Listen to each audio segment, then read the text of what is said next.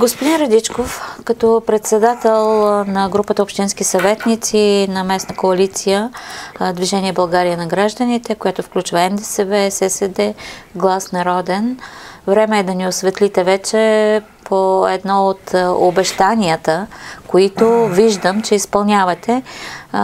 преди да се договорим с вас за този разговор, все още не бяхме наясно, че сте толкова подготвени и че имате и интерактивна карта, която да предложите на жителите на град Добрич и разпределение на общинските съветници. Тази карта сега ще ни помага. Благодаря ви за това, че сте в студиото. Да, благодаря за поканата. На колко района разделихте Добрич? Добрич е разделен на 13 района, колкото сме общинските съветници. Като не включвам централната градска част, имам предвид, това е широк център, не е идеалният център, за там сме се разбрали да отговарят всички.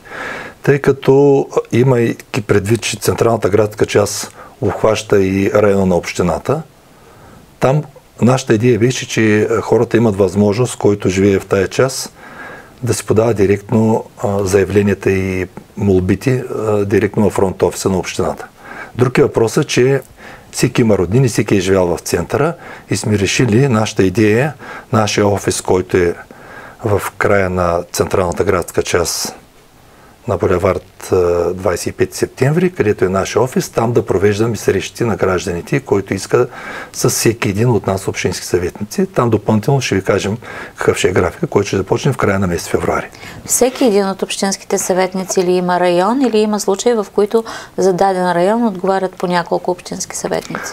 Всеки има район, всеки е титуляр и сме решили да се припокриваме. В зависимост от големината на района, както примерно е Балик, там районът е доста голям, там отговарят примерно, двама и трима колеги. Да. Аз ви моля сега съвсем конкретно да назовете районите и разпределението на общинските съветници, за да чуят нашите слушатели, които нямат достъп до интернет. Така, добре, Баба ще ви Кина кажа. от Балик, например, няма как да гледа картата. Тя трябва да знае. Така е. А, не всеки ползва средствата за комуникация през интернет. Сега ще ви кажа произволно. За Северния район ще отговаря доктор Ефраимов. Квартала на Игликите ще отговаря доктор Желев. В квартал Балик ще отговарят Ивайло Петров, Гинка Василева и Ангел Ангелов. За района на Христо Ботев ще отговаря Ангел Ангелов и Велислав Даскалов. За района на Дружба 1, 2 и 4 ще отговарят Михаил Игнатов и Петър Петров. За района на Червената пръст и Дружба 3 ще отговарят Герман Германов и Павел Павлов за района на Добротица Невяна Люцканова и доктор Явор Милушев. В района на казармите и Рилци, тъй като там е малко по-малко населено, Петър Петров и Гинка Василева. За района на Лузята, там има специфичен район, все повече и повече се насища. Там сме, там сме се разбрали да бъдат Велислав Даскалов, Михаил Игнатов и доктор Желев. За Дунавите, моя милост Невине Радичков – и за централната градска част, както ви казах, ще отговарят всички общински съветници. Това ще отговарят какво означава обаче? Ще провеждат регулярни срещи, ще получават сигнали, ще бъдат ли постоянно на някакво да. място, където да посрещат Ще жители? ви обясня. Нашата идея е това нещо, което ние предложихме по време на местните избори, да се разпределим районите. Идеята ни е да има по-допирни точки с гражданите защото интернет пространство всеки го тълкува по различен начин. Има хора, които искат да се изкажат а, идеите, когато има среща очи в очи директно. Има хора, които имат проблеми и не смеят да ги изказват в публичното пространство. Нашата идея, когато се срещаме, тези срещи да бъдат един път в края на месеца. Съобразили сме се с местата, където ние ще провеждам срещи. Сега това нещо, което пропуснах да ви кажа, идеята ни е във всички пенсионерски клубови. Разговаряли сме председателите на клубовите, избрали сме график и час да се съобразим с тяхните ангажименти, защото знам, че там провеждат самодейни състави, правят си хората репетиции. Един път в месеца обикновено това ще бъде някъде в периода около сесията на Общинския съвет.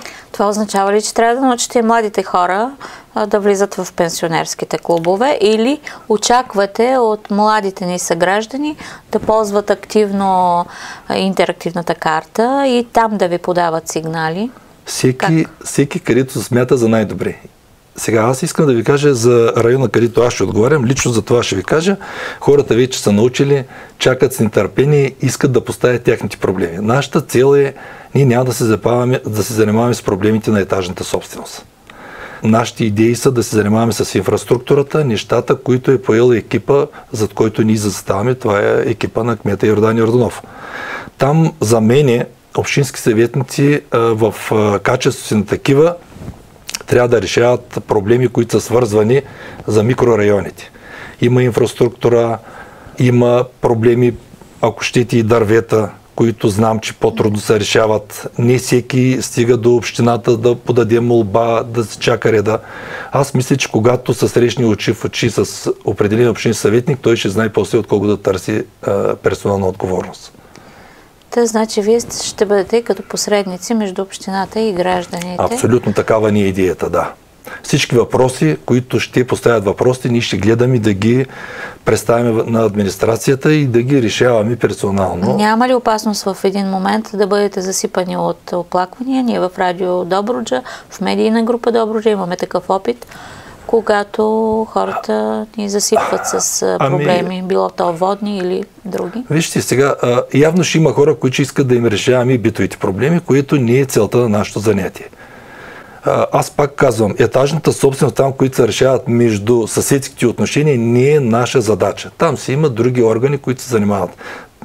Ето аз ще ви кажа, че хората не са запознати още с една програма, която от няколко, година, няколко години усилено и с благодарение на кметския екип, това е за публично-частно партньорство. Има заделени 100 000 лева, които хората така или иначе, когато обикаляхме по време на изборите, все още не са запознати. Това е една програма с участието на местното население, 25% участие от тях, 75% участие от общината. Има хора, които са възползвали и са доволни. По принцип всички знаем, че българина, когато извади един лев, по друг начин стопанисва и контролира това свое участие. Там, където се е случила тая програма, трябва да ви кажа честно, че могат да се дават пример, особено за блоковете, които са санирани. Какво се получава? Хората искат тротуари, хората искат а, пояси около блоковите пространства, там където примерно и текат в основите на мазите. Хората искат паркинги. Това нещо е един, за мен е един много добър а, пример как хората а, могат да участват с собствени средства. Сега някой ще каже, че това е работа на общината. Да, само че общината решава по-глобални неща по районите. По, по този начин ще се решат такива микропроблеми, които хем ще бъдат за пример на другите, хем ще се решават. 25% мисля, че не е голяма сума за съучастие на хората. Е, това е пак това, задача да. на общини съветници и ние ще го стимулираме, защото, пак повтарям, по време на изборите на хората, като им казах, хората са отворени за такива неща, но явно никой не им го е казал. Да, Аз знам, че вие медиите го споделяте, но не всеки Освен почтенска котия за сигнали, ще бъдете абсолютно, и информационни Абсолютно, да, да. Средници. Тези неща, ами аз така мислим, така започваме в края на месеца, ще видим, може би ще се срещнем пак с вас, ще видим какви са проблемите. Интерактивната карта беше само първата крачка към а, осъществяването на обещанието ви. Казвате в края на месеца. Започвате... В края на месеца, края на месеца февруари. Ето аз давам ви пример. Колегите записали сега, нямам точен график. На, на 26 февруари от, 18, от 17 до 18 часа в клуб Европейски гласове съм говорил с председател. Тогава е удобно да заповядат всички хора Пуснал съм обява по всички домоуправители в района на Дунавите. Моя район ще обхваща Дунавите от Боляварда до Сави Мекс, пазара е този един, да ви кажа, един, то се явява малко като квадрат. То няма как точно да се разграфи. Всички хора, които искат да заповядат, приемам ги с отворени вети. Моята цел като общин съветник да помагам да сме близо до хората. И всеки един от вашите колеги общински съветници ще постъпва по този начин. Абсолютно. Ще обяви Абсолютно дата, така. час, да, дата и, час и мястото на Сега, среща. ето вижте, на доброто са, примерно, няма пенсионерски клуб. Усещаме го, търсим варианти, както сме говорили с кмета и с кметския екип, къде могат да се открият. Търси са места, където има общински сгради, да се оборудват, да се направят. Сега, естествено, дружба 3 червената пръст, които сме се разбрали с колегите да използват клуба на европейски гласове на Дунавите, може би ще ми е малко далечко, но който има желание, телефоните, може би ще зададат въпроса хората и за телефоните. Умишлено в момента не ви казваме телефоните. От гледна точка, което вие казахте, някой да не стига до битовизъм, но телефоните винаги могат да се намерят в сайта общината. Всички общински съветници в целия общински съвет телефоните има, те са публични, всеки може да се свържи с тях. Усетихте ли вече какво е мнението, какви са впечатленията на колегите ви от другите групи в Общинския съвет? Как гледате на вашата идея? някаква конкуренция там ами... ще се получи ли? Защото в предизборна обстановка всички обещаваха, че ще се срещат с гражданите. Вярно, вие го поставихте на първо място.